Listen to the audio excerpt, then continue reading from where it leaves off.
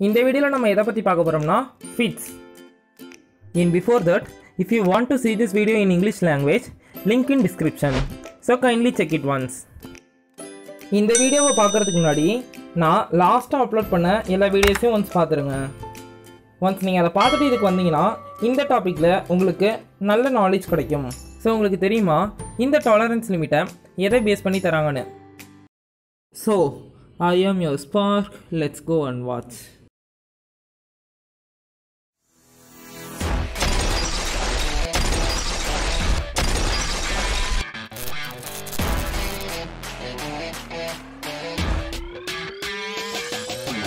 so இந்த கொஸ்டினுக்கு உங்களுக்கு ஆன்சர் தெரியணும்னா நம்ம ஃபஸ்ட்டு ஃபிட்ஸ்னால் என்னன்றதை தெரிஞ்சுக்கணும். ஸோ ஃபிட்ஸுன்றது ஒன்றும் இல்லை. ரெண்டு ப்ராடக்ட்டை நம்ம ஒன்றத்துக்கு ஒன்று சேர்க்குறப்ப அங்கே ஃபிட் அப்படின்ற ஒரு விஷயம் இருக்கும்.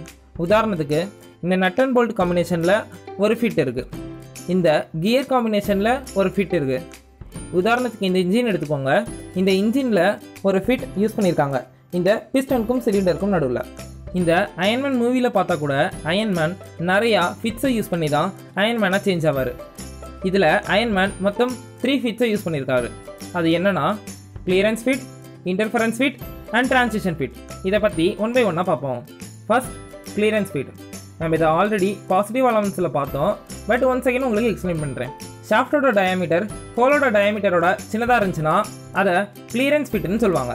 இந்த கிளியரன்ஸ் ஃபிட் எதுக்காக உருவாக்குனா ஒரு பார்ட் ஈஸியாக ஸ்லைடு ஆர் மூவ் ஆகணும். இன்னொரு பார்ட்டில் அதுக்காக தான் நீங்கள் இங்கே பார்த்தீங்கன்னா தெரியும் ஒரு சின்ன கேப் இந்த ஷாஃப்ட்டுக்கும் ஹோலுக்கும் நடுவில் தந்திருப்பாங்க. ஸோ இந்த கேப் நம்மளுக்கு இந்த ஷாஃப்டை ஈஸி மூவ் பண்ணுறதுக்காக யூஸ்ஃபுல்லாக இருக்கும். அப்புறம் இங்கே பாருங்கள் இந்த distance between maximum limit of hole and minimum limit of shaft இதை தான் மேக்ஸிமம் கிளியரன்ஸ்னு சொல்லுவாங்க. இந்த gap between minimum limit of hole and maximum limit of shaft இதை தான் மினிமம் கிளியரன்ஸ்னு சொல்லுவாங்க.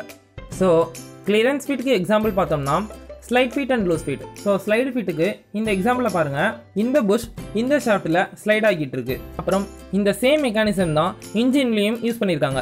இங்கே பார்த்தீங்கன்னா இந்த பிஸ்டன் இந்த சிலிண்டரில் ஸ்லைட் ஆகிட்டு இருக்கு அப்புறம் லூஸ் ஃபீட்டுக்கு இந்த எக்ஸாம்பிள் பாருங்கள் இதில் இந்த ஷாஃப்ட்டு ஃப்ரீயாக ரொட்டேட் ஆகிட்டு இருக்கு இந்த ஹோலில் ஸோ ஒரு ப்ராடக்ட்டுக்கு இந்த மாதிரி மெக்கானிசம்ஸ்லாம் இருந்துச்சுன்னா இந்த கிளியரன்ஸ் ஃபீட்டு தான் யூஸ் பண்ணணும். அடுத்து இன்டர்ஃபரன்ஸ் ஃபீட் நம்ம இதை பற்றி ஆல்ரெடி நெகட்டிவ் அலவன்ஸில் பார்த்தோம். பட் ஒன் செகண்ட் எக்ஸ்பிளைன் பண்ணுறேன் இந்த ஃபிகரை பாருங்கள் ஷாஃப்டோட டயாமீட்டர் ஹோலோட டயாமீட்டரோட சின்னதாக இருந்துச்சுன்னா அதை இன்டர்ஃபரன்ஸ் ஃபிட்னு சொல்லுவாங்க. ஸோ இந்த இன்டர்ஃபரன்ஸ் ஃபிட் எதுக்காக யூஸ் பண்ணுறாங்கன்னா ஒரு ஷாஃப்ட்டை ஒரு ஹோலில் டைட்டாக ஃபிட் பண்ணுறதுக்காக தான் யூஸ் பண்ணுறாங்க இங்கே பார்த்தீங்கன்னா தெரியும் ஒரு ஸ்மால் டிஸ்டன்ஸ் இருக்கும் இந்த ஷாஃப்ட்டுக்கும் ஹோலுக்கும் ஸோ இந்த டிஸ்டன்ஸ் தான் இந்த ஷாஃப்ட்டை இந்த ஹோலில் நல்லா டைட்டாக ஃபிக்ஸ் பண்ணுறதுக்காக யூஸ் பண்ணப்படுது. அப்புறம் இங்கே பாருங்கள் இந்த distance between minimum limit of hole and maximum limit of shaft இதை தான் மேக்ஸிமம் இன்டர்ஃபரன்ஸ்னு சொல்லுவாங்க. இந்த gap between maximum limit of hole and minimum limit of shaft minimum இன்டர்ஃபரன்ஸ்னு சொல்லுவாங்க. இந்த இன்டர்ஃபரன்ஸ் ஃபிட்டுக்கு எக்ஸாம்பிள் பார்த்தோம்னா press fit driving fit and forced fit இதை பற்றி ஒன் பை ஒன்னாக பார்ப்போம். ஃபஸ்ட்டு ப்ரெஸ் ஃபீட்டுக்கு நம்ம ரேச்சட் மாதிரியான ஒரு டூலை யூஸ் பண்ணி ஒரு போல்ட்டை ஃபிக்ஸ் பண்ணியும் ட்விஸ்ட் பண்ணியும் லாக் பண்ணுவோம். அப்புறம் ட்ரைவிங் ஃபீட்டுக்கு பார்த்தோம்னா நம்ம சுத்தியல் மாதிரியான ஏதாச்சும் ஒரு டூலை யூஸ் பண்ணி இந்த ஆணியை ஒரு போர்டில் நல்லா ஸ்ட்ராங்காக இன்சர்ட் பண்ணுவோம். கடைசியாக போஸ்ட் ஃபிட்டுக்கு இந்த எக்ஸாம்பிளை பாருங்கள் நார்மலாக இந்த ஷாஃப்ட்டை நம்மளால் ஈஸியாக இந்த ஹோலுக்குள்ளார ப்ளேஸ் பண்ண முடியாது. ஸோ இதுக்கு நம்ம ஹீட் ட்ரீட்மெண்ட் ப்ராசஸை யூஸ் பண்ணுவோம். அதாவது இந்த ஷாஃப்டை ஃப்ரீஸ் பண்ணுறோம்னா அந்த ஷாஃப்டோட டயாமீட்டர் ரெடியூஸ் ஆகும். அப்புறம் இந்த ஹாலோ ஷாஃப்டை ஹீட் பண்ணோம்னா இந்த ஷாஃப்டோட டயாமீட்டர் பெருசாகும். இப்போ இந்த சர்க்குலர் ஷாஃப்டை இந்த ஹாலோ ஷாஃப்ட்டுக்குள்ளார ஈஸியாக இன்சர்ட் பண்ணிடலாம் ஸோ இந்த மாதிரியான காம்பினேஷனுக்கு இன்டர்ஃபரன்ஸ் ஃபிட்டை யூஸ் பண்ணுறாங்க கடைசியாக டிரான்சிஷன் ஃபிட் இந்த மெத்தடில் பார்த்தோம்னா ஷாஃப்டோட டயாமீட்டர் ஆல்மோஸ்ட் ஈக்குவலாக இருக்கும். இந்த ஹோலோட டயாமீட்டருக்கு அதாவது சர்க்குலர் ஷாஃப்டோட டயாமீட்டர் கொஞ்சம் பெருசாகவோ கொஞ்சம் சின்னதாகவோ இருக்கலாம். இந்த ஹோலோட டயாமீட்டர் கம்பேர் பண்ணுறப்ப அதனால் இந்த ஃபிட்டை கிளியரன்ஸ் ஃபிட் இல்லாட்டினா இன்டர்ஃபரன்ஸ் ஃபிட் கொஞ்சம் இந்த மாதிரி இருக்கலாம். ஸோ டிரான்சிஷன் ஃபிட்டுக்கு எக்ஸாம்பிள் பார்த்தோம்னா இந்த புஷ் ஃபிட் இந்த ஃபிகரை பாருங்கள் இந்த லாக் மெக்கானிசமில் நம்ம ஜஸ்ட் இந்த லாக்கோட டாப் பொசிஷனில் ஜஸ்ட் ஒரு ஸ்மால் புஷ் தருவோம். அது உடனே அங்கே போய் லாக் ஆயிரும். ஸோ இந்த மாதிரி லாக் மெக்கானிசம் வரப்பெல்லாம் நம்ம டிரான்சிஷன் ஃபிட்டை யூஸ் பண்ணணும்.